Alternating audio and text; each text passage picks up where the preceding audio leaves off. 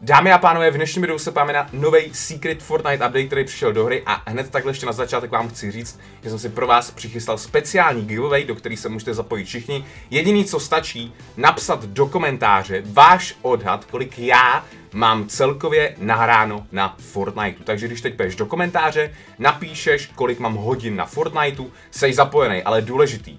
Tady ty zprávy zaznamenává Nightbot. Můžou se všichni zapojit, vy, kteří máte odběr a napíšete tenhle ten komentář. Když tam napíšete, dám příklad tisíc, započítá se to. Když tam napíšete tisíc h, započítá se to. Když tam napíšete tisíc hodin, započítá se to. Kdo bude nejblíže k mým hodinám, co mám na Fortniteu, ode mě dostane buď V-Bucksy nebo nějaký Fortnite bundle, potom si bude moct vybrat.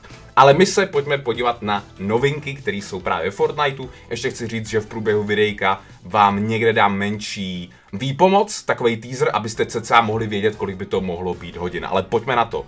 Do hry nám, jako každý aktuální týden, přicházejí nový mid-season styly.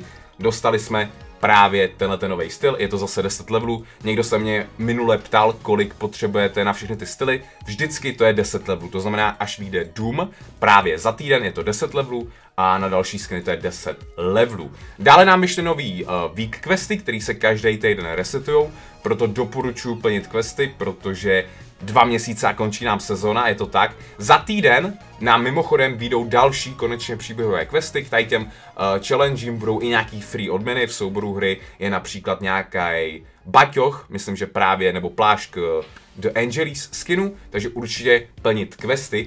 Dále nám do hry vrátili i Burst Assault Rifle, což je super, bude do uh, konce sezóny ve hře. Já ještě budu v dnešním videu ukazovat detaily, z čeho to padá, rarity. A ještě taková zajímavost, dneska nám vrátili top 10 nejvzácnější glider, a to je Solid Strider, takže já ho asi vezmu.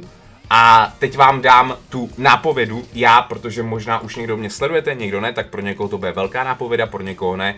Začal jsem hrát Fortnite od Chapter 1 Season 2, takže si cca můžete spočítat, kolik bych hodin mohl mít na Fortniteu. A pojďme se podívat na další novinky. Jak jsem teda říkal, vrátili nám do hry Burst Assault Rifle, můžete najít od šedivý až do legendární rarity, padá to z čestek, můžete to najít na zemi, je to dostupný i ze supply dropů a je to dostupný právě i z rybaření.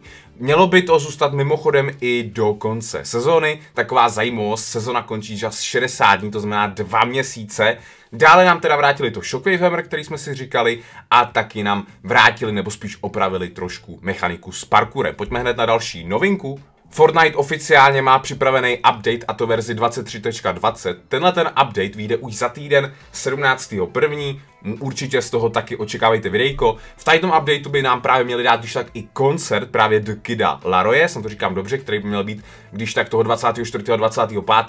dostane nějaký skiny. Dále by v tomhle updateu měl přijít i spolupráce právě s Dead Space a ještě možná něco. Samozřejmě se dočkáme možná no nějakých nových věcí, například ten plamenomet, který je v souboru hry, který jste možná už někde zaznamenali. Když vystřelíte světlušku, tak to je možný, že přijde, a nebo taky může přijít ta sova, díky který potom budete zjišťovat, kde jsou oponenti. Takže tenhle ten update přijde za týden a pak máme ještě update 23.30, který Fortnite začal testovat a tenhle ten update by měl přijít 30 prvního první, ve kterém je velká šance, že se konečně dočkáme kreativu 2.0. Takže pojďme na další novinky. Máme tady spolupráci Jazver s figuriny, nevím, jestli se to u nás prodává, ale když tady ty figuriny koupíte, tak tady můžete vidět takovýhle vrep. Mimochodem ten vrep je docela divný, myslím, že dokonce byl v shopu za 300 V-Bucks. Zelená rarita, takže jen taková zajímavost, ten vrep se mimochodem vrep se jmenuje Extra Extra, když tak se můžete vyhledat, ale myslím, že ho klasicky dávají do shopu.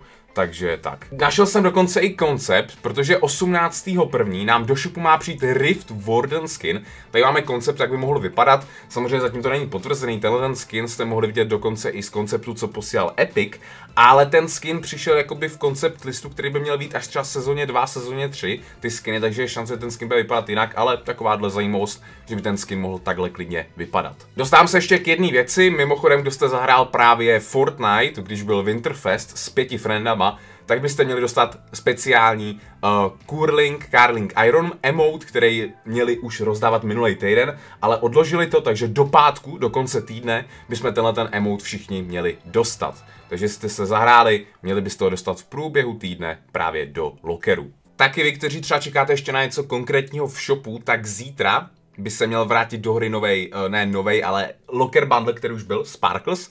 Je tam celkem v pohodě skin, je tam wrap, emote a je tam pickaxe. Uh, taky, právě že update bude za týden, tak do konce týdne by ještě podle líků měli přidat do hry úplně nový X-Twin Locker Bundle, který nikdy uh, dostupný nebyl. Samozřejmě vrátili nějaký spolupráce, například Destiny, to už jste věděli z minulého týdne, když jsem to říkal v updatem videjku. A aktuálně, jestli se nemýlim, tak nic v souboru hry není uh, myšleno taby, který by měli vrátit, takže třeba na Kratose nebo na cokoliv jiného si budete muset počkat. Ještě taková zajímavost vždycky v tom updateu, v tom velkým, který bude konkrétně 17. první, tak vždycky cca odpoledne updatujou nějaký taby do shopu, takže z toho se potom zjistíte, uh, jestli třeba vrátí Kratose, nebo jestli vrátí Marvel, DC, jestli vrátí, takže určitě tohle vám řeknu v příštím updatem videjku. A na závěr taková zajímavost, do hry by nám měly přijít nový augmenty v průběhu tady sezóny a celkově i v, třeba v sezóně 2. Má přijít do hry Danger Hero, má přijít Death Hands, má přijít Harvester, Ice Slidy, Midas Touch, což by asi spojený logicky s Midasem, Peely Plunder, takže něco s Peelem, Rarity Check, Shadow Striker, Rejector Set, Shotgun Siphon, Siphon mod, což jsem docela zvědavý, a Zero Change.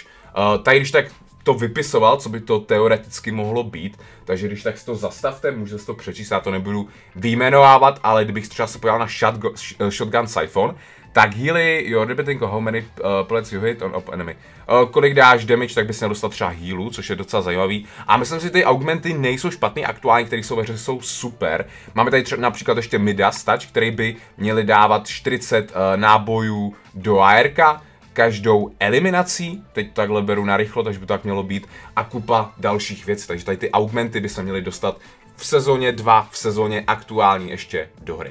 A jo, pro dnešní update videjko to je všechno, snad se vám líbilo, dozvěděli jste se novinky, určitě doporučuji se zapojit, zkontrolovat, že máte ten odběr, aby vás to započítal, ten Nightbot, jak jsem říkal, potom třeba si můžete vybrat nějaký V-Bucksy nebo nějaký právě bundle, ani nevím, jestli jsou aktuálně nějaký bundly ve hře. A ještě takhle na závěr vám pustím možná trailer fanmade, který jste viděli koncept na Pokémony a my se uvidíme u dalšího videa. Zatím ahoj.